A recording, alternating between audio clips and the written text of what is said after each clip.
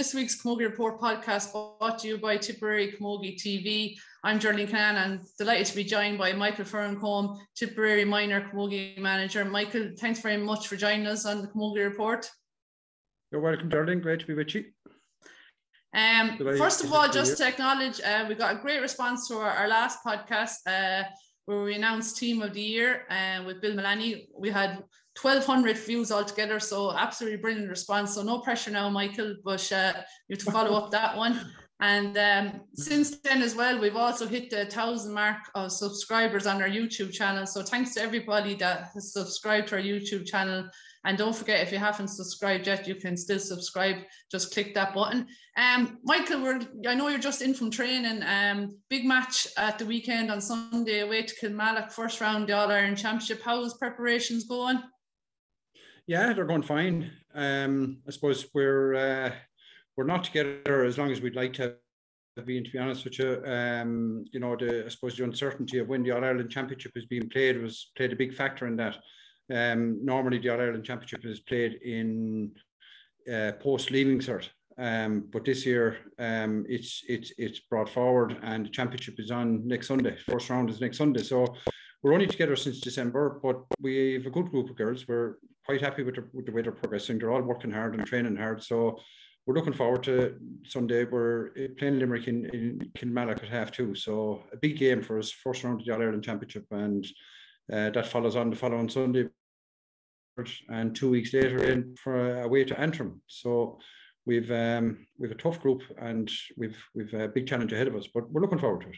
And when you say you got together since December, would you have had trials or just called players in or play challenge matches or what has been what has been the setup like? Well, it's been difficult enough. Like I, I, I would, I would, I would ideally have liked to have maybe 50, 60, 70 girls in because there's like I've, I've been around to a lot of the minor games over the last number of weeks and uh, different championships and uh, and there's some great um, great girls out there and, and great competition for places. Um, we did to bring, um, you know, 50, 60 for trials, simply because of the time. You know, from the time we we got together for the the, the first time, you know, the first the first time we got together this year was the condition on the 18th of December. You know, so um, and then we picked a panel of about 40 girls. Um, we had a few more on top of that that uh, looked at it as well. We went into a few club teams and uh, we're now down to 30. Um, but we, we, we, we had 30, we are down to 30 girls now. And, um, you know, we're, we're happy with the panel that we have.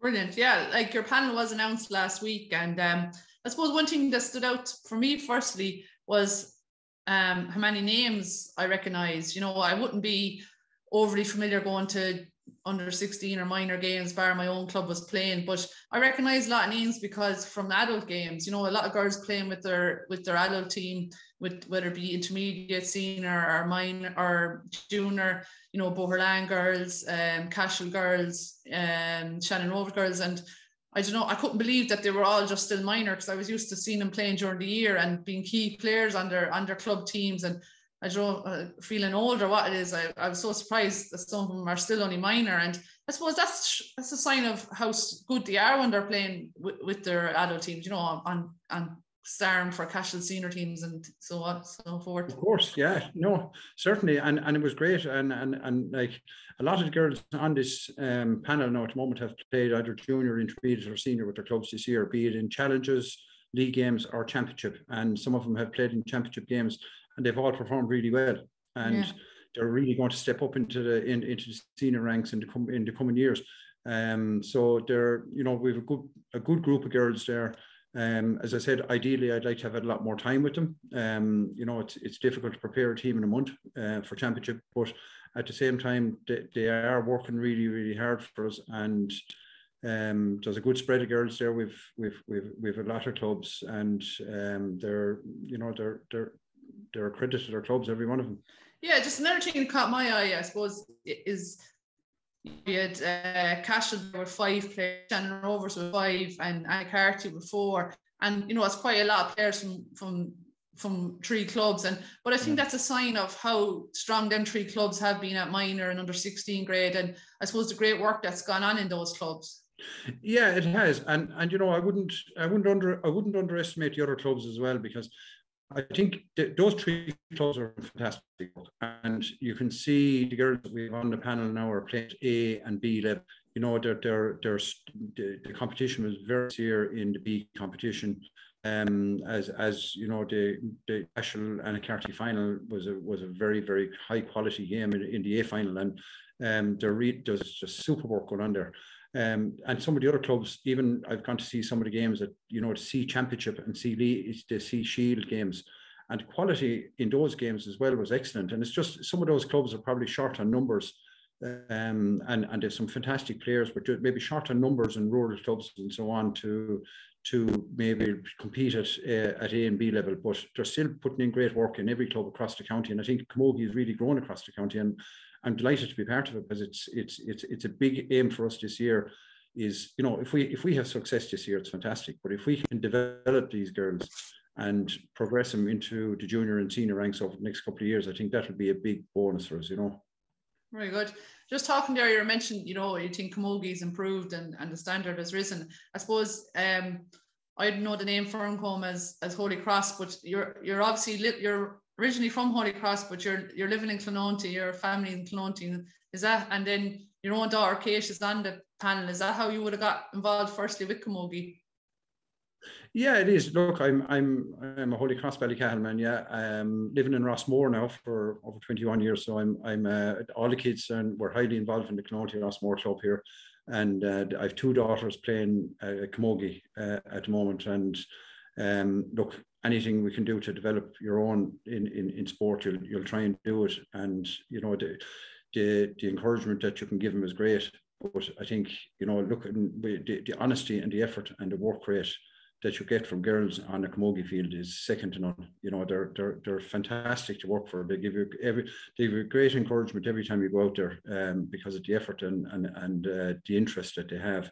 They're so honest and it's you know it's it's anything you can give back to to the girls to help them improve we'd be delighted to do it you know yeah and um Dinny is your brother uh, people might know Dinny he's the coach with the management team with the tip senior camogie team and right. obviously you yep. played uh, for Holy Cross Ballycahill too you were a goalkeeper and I know you played with Tipperary as well so where did the obviously lifelong interest there in GA but were you always interested in the coaching side of things, or have you, did you get involved with other teams in the previously or Yeah, look, I, I, over the last ten or eleven years, I've been involved in coaching clubs, um, and I suppose it was by, it was all by accident that I got involved at that level because um, I would have always been involved when, when I was hurling senior with Holy Cross.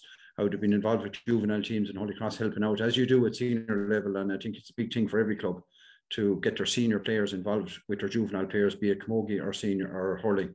Um, because I think it really it's it's what it's where youngsters look up they look up to their senior hurlers. Um, so that's where I would have started. But I think um, getting involved with teams was more of an accident. I tore my cruciate, and the next best thing for me uh, when I wasn't able to hurl was to be on the sideline. And I, I, you know, I had too much interest in it to be walking away from it. So I got involved with the Holy Cross Seniors as a selector and just got got involved in doing a little bit of coaching and just kind of took it on by there really, took it on from there really. But I'm, look, I'm enjoying it and and um, when you when you can't play, it's nice to be on the side and being able to do something, you know. Very good. Um, I know um, Dave Maloney is selector with you, as is um, Tim Heffernan, and the three of you have daughters on the panel. And I thought it was interesting that Eve Malachney from Shannon Rovers is also selector witchy and I you know I just think thinking there how Aoife would have played down through the years. You know she's actually still is playing with Tipperary on the Tipperary junior panel and with Shannon Rovers but she, her father Pat would have often been the manager of those teams. He was involved with Shannon Rovers this year. I'm sure he was involved over tip teams when Aoife was playing. So can Aoife give you a bit of advice about having you know um, children on the team? And I know people often say often parents are nearly harder on their own because they're trying so hard not to favor favor them. Yeah. Yeah, and I think I think the three of us look. I'm very lucky with the background team I have. You know, David has great experience with all the girls in Cashel and and and through the A competitions. Tim the very same with Annacarty, and you know the two lads are fantastic. And then Aoife obviously Pat, um, her father being like from obviously from Pat and from herself, and her playing days with with, with uh, Tipperary as well, and, and are continuing to play with Tipperary. So um, we're very lucky with the background team, or uh, with the management team, should I say, that we have, and um, we're, we're we're we're delighted with it because and and yeah, yeah, going back to the three of us have the three of us have girls on it, and probably um, probably harder on them than we would be on anybody else. Look, we we're still trying to be as honest and as the board with, with when it comes to our decisions, you know. Of course. Um, just uh, just been great success, I suppose, at schools levels with Tipperary schools. Um, I suppose no more so than uh, Cashel Community School winning the Senior A Munster final. And I know they have their All Ireland semi final uh, uh, on Saturday, the day before your match. Um, it's not ideal really. I know it's great that they're going so well and that they're winning, but I'm sure obviously they're not in with you the whole time. But to have the match day before and have girls involved the day before, I suppose that's something you would have preferred not to happen. Oh, certainly. And look, this is probably a criticism that I would have over, over the whole fixtures of this competition from Croke Park. And, you know, I have to be honest about it, like it wasn't taught through properly. You know, um, have to have girls playing schools in their you know you know in in in the most most important part of the season for them. The work that the schools are doing at the moment is unbelievable. You know it's it's it's coming across from from primary schools up to secondary schools. They've they've in their hand every day at school. It's fantastic and i really compliment the schools and what they're doing. And it's very difficult on the schools you know that you know we're pulling out of them once or three times the schools are trying to prepare them, and like we have a few schools involved. Um, presentation presentation in in in uh, Thurles, they just won a Munster final last weekend, which was a week before. So they they have a, they have a final coming up. The Ursuline and Thurles won a Munster final uh, a couple of weeks ago, and next Saturday they're in Bel- Saturday week they're in Belfast yeah. playing Antrim, uh, the Antrim champions oh, before before we play Wexford. Yeah. Yeah, and then and then you also have the Cashel have we've five girls uh, and involved in the game on Saturday. Um, they're playing at half one on Saturday in an All Ireland semi final and turn around and play again on Sunday. Um, we also have a football get Munster final on, on on Saturday where Care are playing, and we have two girls involved in that and and they're playing they're playing Saturday and we have to play Sunday against Limerick. So it's it's far from ideal. Look, we just have to work, we, we can't be making excuses now at this stage. We just have to get on with it, you know. Okay.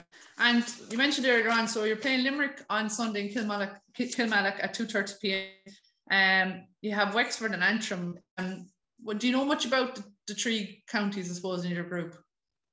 We've been about him, yeah. Um, there's a lot of work going on in Limerick at the moment. Um, same as we played Waterford in the challenge last Sunday evening, and there's a huge amount of work going on in those counties. Um, they're trying to develop the girls. Um, we haven't played Limerick. Uh, we Limerick beat Tip in the minor championship in the Munster minor championship last year. Um, so we don't know an awful lot about him. Only there's a lot of work going on behind the scenes. Do know that Wexford are very physical and uh, they're they're a strong side. Um, and Antrim again, we're going to the unknown, going to going to Belfast in, in four weeks' time. Um, but I'm sure we'll we'll fight those two teams over next weekend. They're also playing in Abbottstown in Dublin.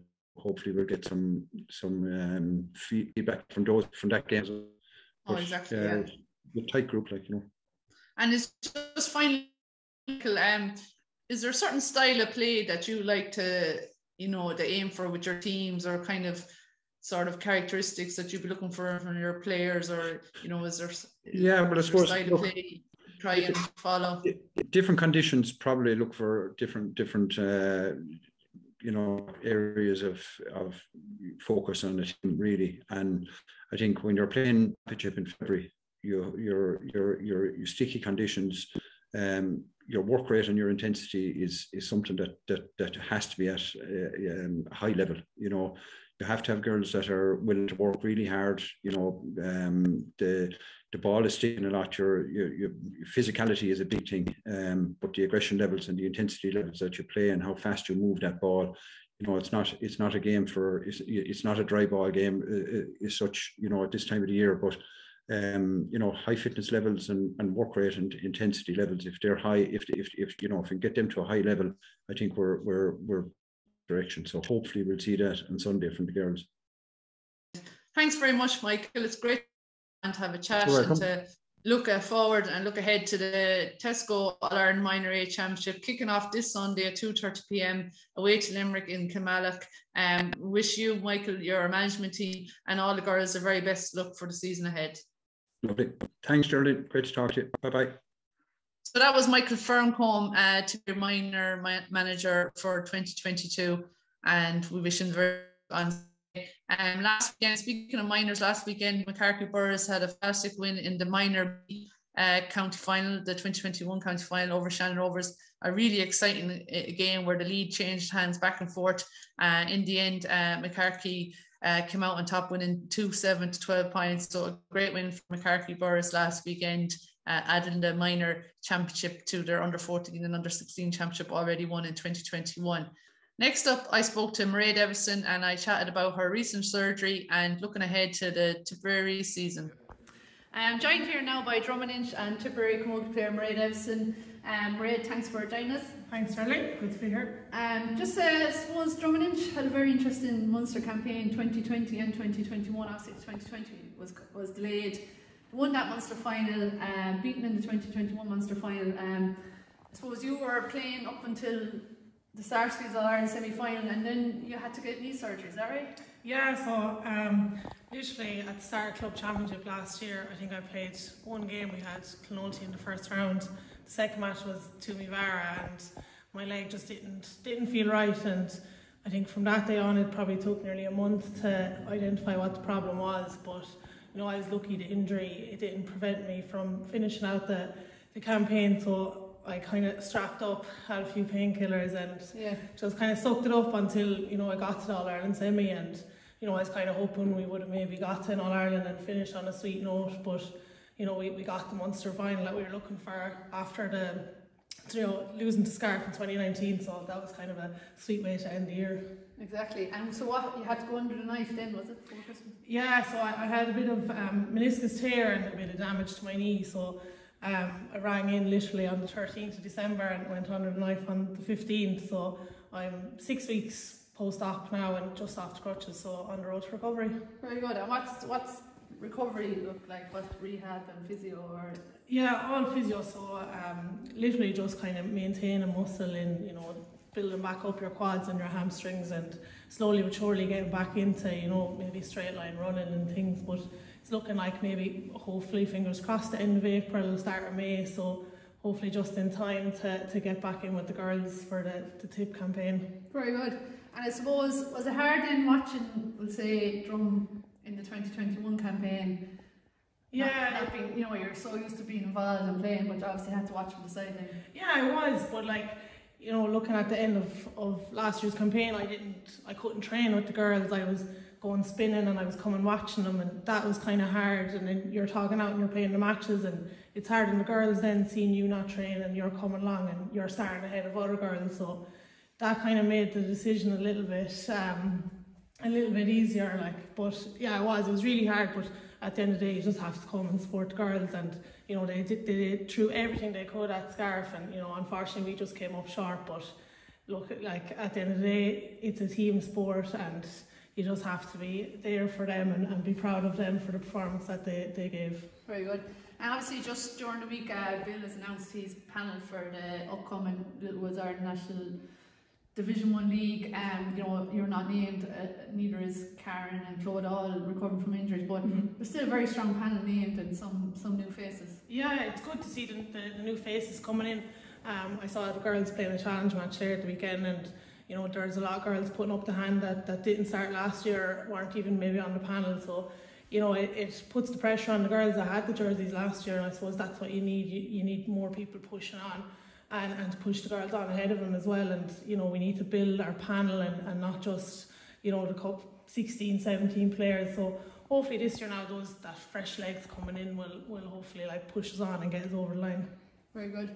And just um, you know, when you're injured, you're saying you're at challenge match there. When you're injured, would you still go training and uh, you're still part of it? Or? Yeah, um, not so much this year yet. Um, I suppose being with Drum, like Bill has is um, very considerate. Like he's given us the break that we need. You know, we've we've been on the trot almost since 2020. So um, not in any group chats, kind of taking them on myself to, to go into them in the gym on Fridays, use the facilities and, you know, just talk, linking in with the girls then and if there was challenge matches and if I was available, I'd go in and see how they're getting on and stuff. So it's kind of nice to not step away fully and just kind of keep in touch. Yeah. Very good. And down this weekend, uh, Saturday at 2 p.m. here in County Camogie Grounds, right? Yeah.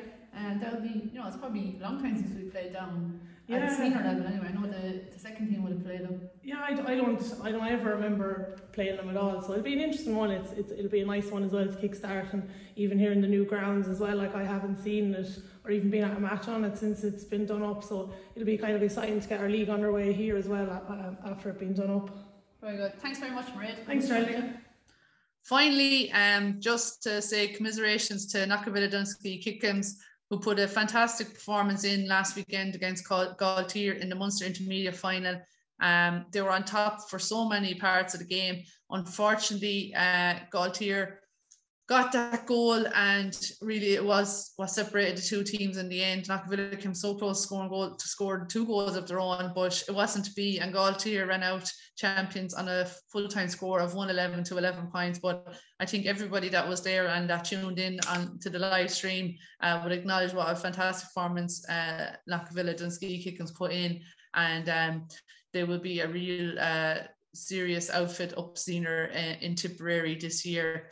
Now, looking ahead to this weekend, as well as the Minor A Championship starting on Sunday, we also have two huge games on Saturday. The start of the Littlewoods Ireland National Leagues. Uh, the Tipperary senior team are in action at home in the County Camogie Grounds Ragg in the round one of the Division One National League. As Tipperary versus down, and then also on Saturday in Freshford at 2 p.m.